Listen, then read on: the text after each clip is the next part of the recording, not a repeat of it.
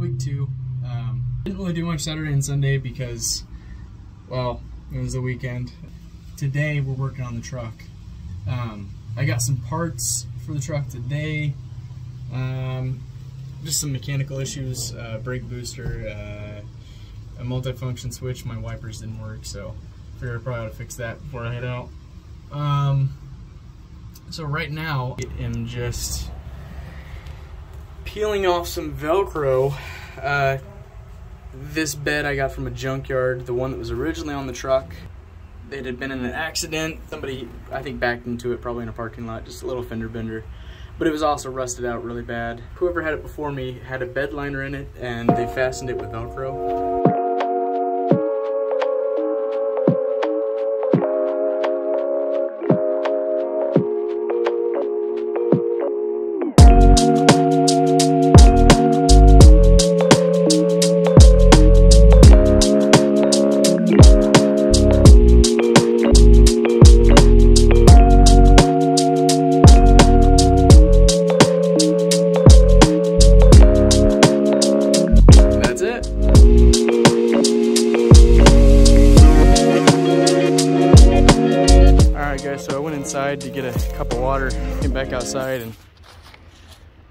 Freaking tailgate fell off. Looks like it just fell off right just off the back here and probably rolled into the yard. Figure that out later. My plan for right now, I cleaned out the bed of the truck.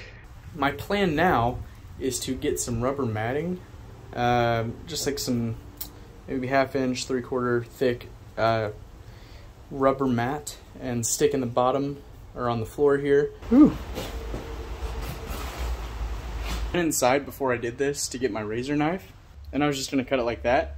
And Jake mentioned he had a sawzall that I could borrow and I was like, awesome, that's gonna make it so much better.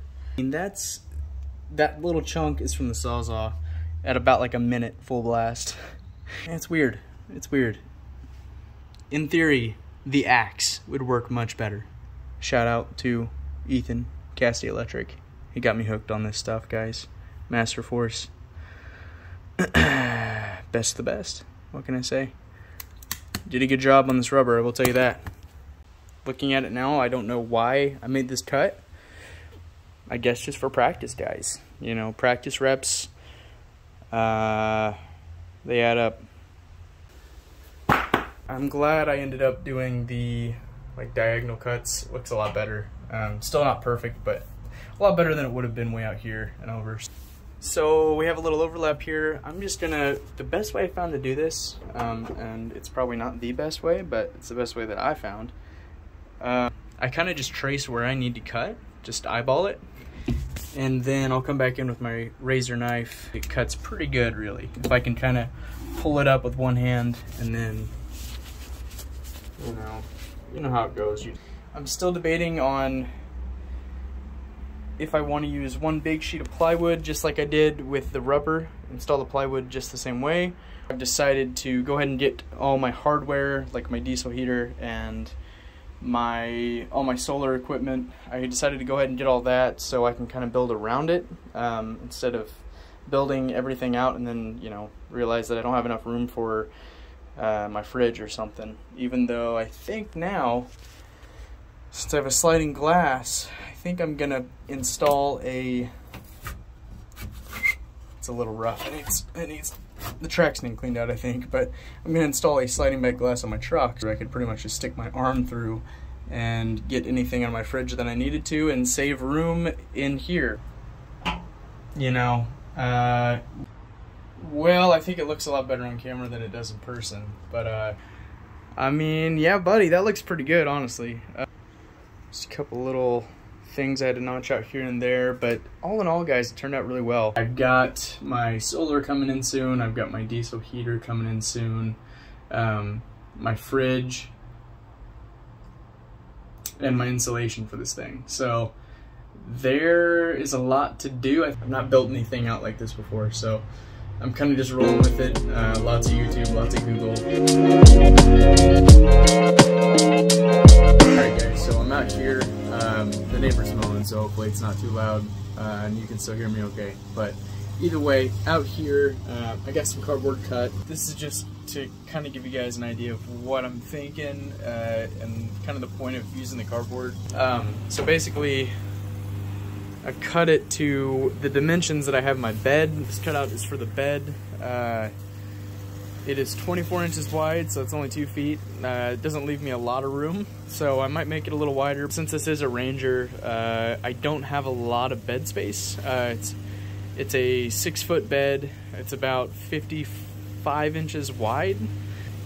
So I've really got to make use of what I've got. So I figure this is a pretty good way to do it. Um, I kind of just cut out the cardboard to the, the dimensions that I'm thinking and throw it in the truck and kind of get a feel for what it's going to look like. If I can't believe this thing's still cutting after all that all that rubber I cut with it yesterday. I don't know where I put my blades, so I guess I'll just keep breaking this one the Amazon guy did stop at my place and drop me off some goodies. I am a happy boy, happy camper. I don't know if I've mentioned it, but it is late October, almost November, and I am in a tank top. Okay, so I've got some more ideas. Uh, show you guys what I got going on. So I've decided I was gonna have like a freshwater storage and then a faucet, so like a water pump but I've decided it would be probably easier and just as efficient and effective to get one of the like water cooler jugs and get they make little pumps that you can just stick in the top um, of those jugs and just almost like a faucet just use that uh, to pull water from the jug I'll probably end up doing that just now that I'm thinking about it I'll probably put the water back towards the back make it easier to uh, plug a new one in when I run out. And then I'm gonna have my cook, like uh, food prep and, and oven cooktop right here in the middle. And then back here I have, let me zoom out a little bit for you guys. Yeah, it might be better for perspective. Um, back here I've just got storage. I plan on building like a shelving unit up through here. Um, not a huge one. I don't want to block a lot of my window space over here just because, you know, that's kind of the beauty of this shell is that it's got a lot of windows um, and places to look out, which I really like. This is almost like a nightstand. It uh, it functions as kind of like a nightstand.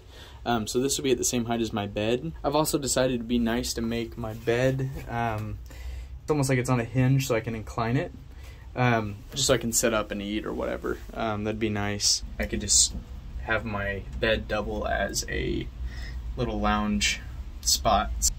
It's all about being efficient and uh, using your space and it's a lot to think about. You can have a vision in your mind, but making it actually there um, can be a little bit tougher. We'll make it happen.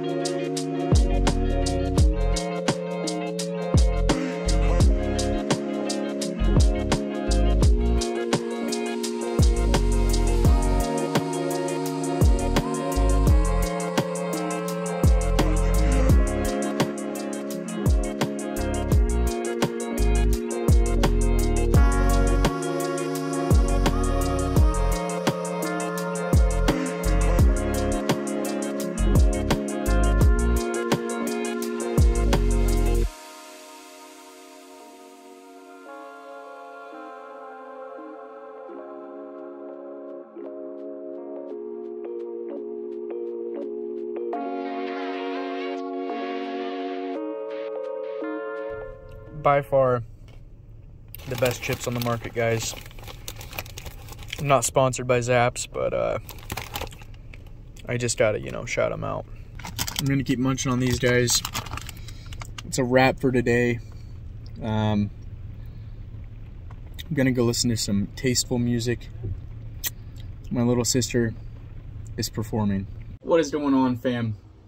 I got some big news. Today, that's right. Dun, dun, dun. The diesel heater came. Check it out. I think that's where it's going to go in the truck. But look at all this hardware. That's just for the heater, guys. Um, so I've got to figure out where to put all this stuff and how to make it work. Okay, I might be crazy, but doesn't this seem just so convenient? I mean, it just fits right. It just fits right in there. This might be the move for reference, here's my here's my gas filler cap right here. And the tank sits right here on the inside. So just put a little fill nozzle right here and I could just fill up with gas, pop it out, fill up with diesel right there. Hmm. I think we might have to make this work. If I could get it up and over maybe a little bit, because I've still got lines that I've got to run out of the bottom. So I don't want my lines hanging way down here. But, uh, you know, I don't need a lot of space for that line to come out and turn up. So I think this is gonna work, guys. Okay, we just got to Lowe's. Um, I'm gonna hop out and try to find some sealant. I'm gonna be drilling some holes for the exhaust and intake of the diesel heater. So I'm gonna seal that up.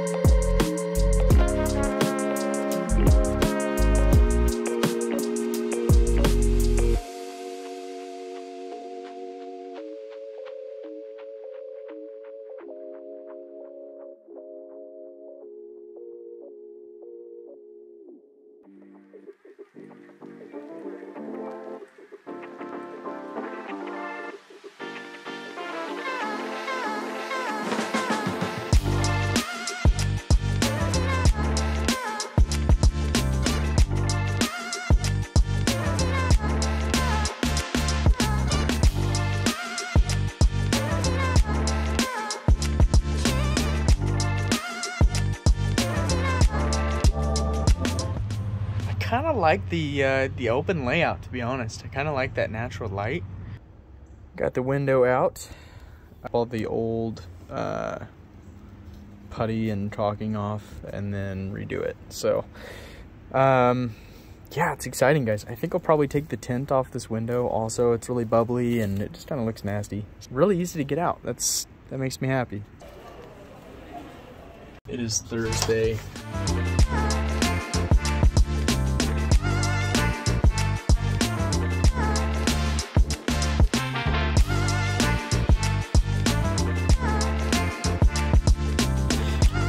Okay, so I've got all the old weather stripping off. It was like this kind of foam stuff all the way around the outside. I've got some uh, expandable foam weather strip, half inch by half inch, so hopefully it does the job. And then put on a seal of this, shout out Jake, clear adhesive sealant.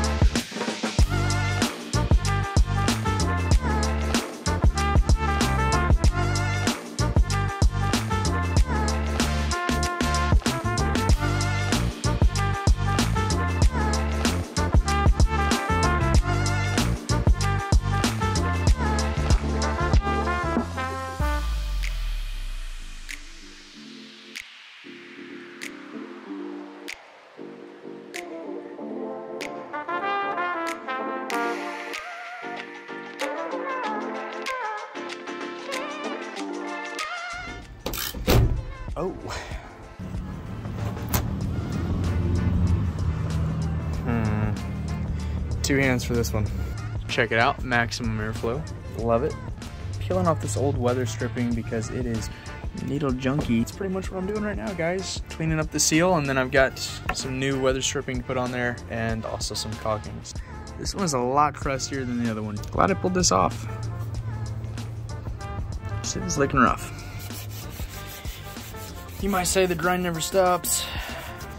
Also, pretty happy with how the spray paint job turned out.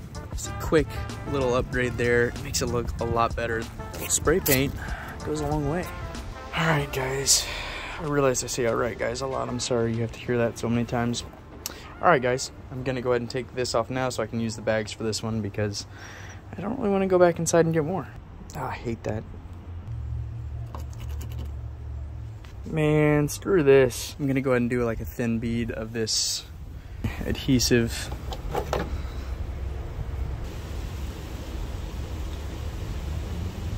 Oh boy. All right, there we go. We had a little little blockage or something. It was uh, requiring all my strength.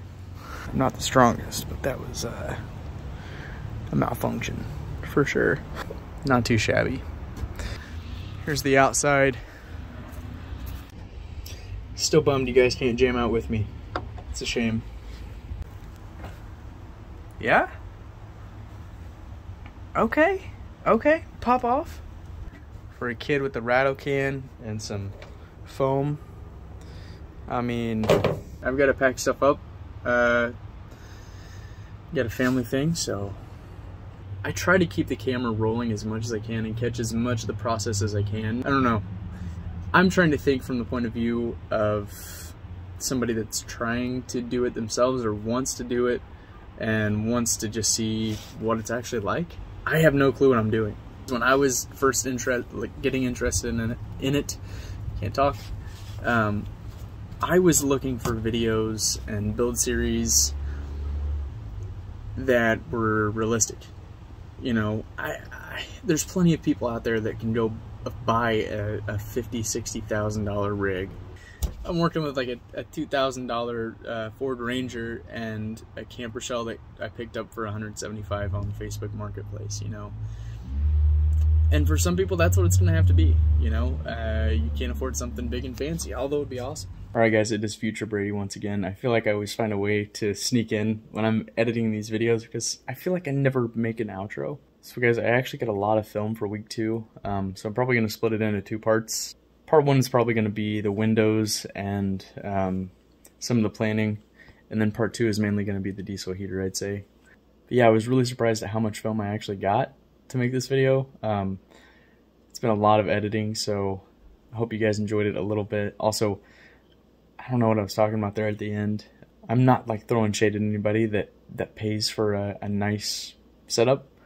Um, if you can afford it, that is awesome. I've seen some amazing builds on YouTube, and it's sweet. But I'm, I think the point I'm trying to make is you can do it on a budget too, and that's my goal. Also, because I I am future Brady, the Powerball that's up over two billion dollars at this point. Um, the winning numbers are 36, 17,